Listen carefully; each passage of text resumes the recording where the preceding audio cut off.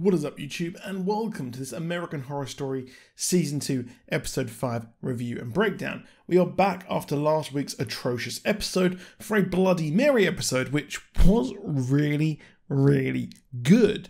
I think that this was a strong entry in a strong season despite last week's road bump. The opening is actually pretty scary, and the episode as a whole is pretty creepy and could have been easily been made into a full length horror movie, to be honest. Uh, I would like to see maybe anthology movies set in an AHS world. We cut to some girls at the start with the after the opening was absolutely harrowing, and they're discussing boys and start to play the Bloody Mary game. But come on, this always ends up in tears. It turns out one of the girls was scared and runs off. I mean, I don't blame her. It might be fake, but why even test it? They're convinced that Bloody Mary can tell them their future, and they all go to a different mirror. Bloody Mary's outfit looks super cool, played by Dominique Jackson, and they look at one of them and well, it looks like one of them are killed, but but they're not. They're told that if they do awful things, they will get their truest desires. They even consider it when they get home, and their mum would rather nosh some guy off than see her kids, and the mum is a typical kind of deadbeat mum. Now, Lawrence is chastised for not dressing up for Spirit Week and considers as a joke throwing the cheerleader captain off the pyramid, as if she did, she was promised of being in charge. Their physics teachers discuss their reflections and how older civilizations thought the reflections were portals to another world, which, yes, it turns out that that was actually what it was all about. They see Bloody Mary, which is chilling, and Lawrence says how she heard of a Bloody Mary story before. Convenient how she didn't tell them before they start playing. Bianca then sees her guidance counselor, who says that she needs to lean into her sob story to get into Yale, and he is actually kind of creepy.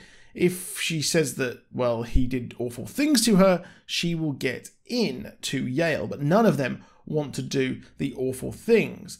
Bianca's sister investigates Bloody Mary and learns that the traditional vision of her was possibly a slave catcher. However, it wasn't. It turns out it was one of the slaves who was a priestess of Mama Watwa, the spirit god there. I, apologize if I've pronounced that incorrectly.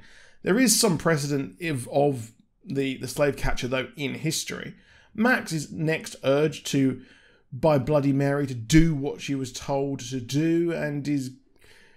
Well, she doesn't. And Bianca is then threatened, and Selena was killed by Bloody Mary for not paralyzing the cheer captain. This is all becoming real.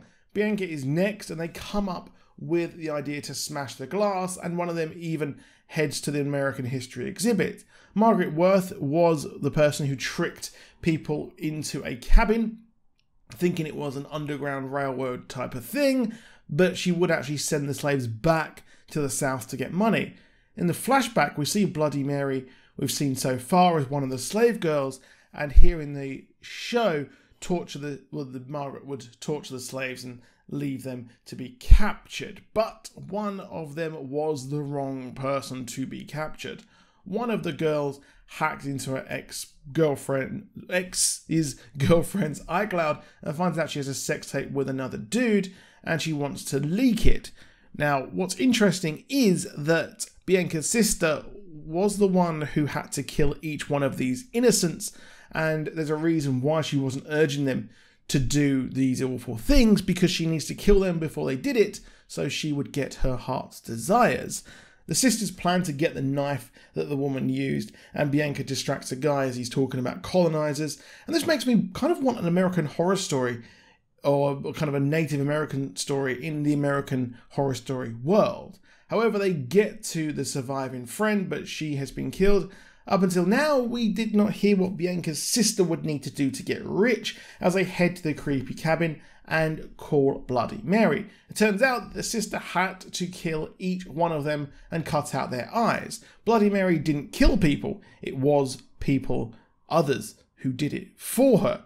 However, Bianca was the one who ended up killing her sister. Bloody Mary didn't kill the people, she just reflects truth back, and it turned out that Bloody Mary, once well, once she's freed, she is replaced. Yep. We learn that she was a servant of Mami Wata, and finally, after seeing her reflection, remembers who she was and went off, killing the black girl who helped the slave hunters. And that means that, well, she should have tried to save one of her people, but she didn't. She was trapped in this mirror dimension world because, well, she couldn't face the, the ancestors like that. She had to try and get herself free and wash her sins. Bianca is innocent, kind of. She did what she had to to survive, which means she has innocent blood. Using that, she thinks that freeing this woman would stop it all. Instead, she was replaced and the cycle begins anew. This was a really, really good episode. Definitely one of the best across both seasons, in my opinion, so far. And I'd love to hear what you think down below in the comments. I'll see you soon and goodbye.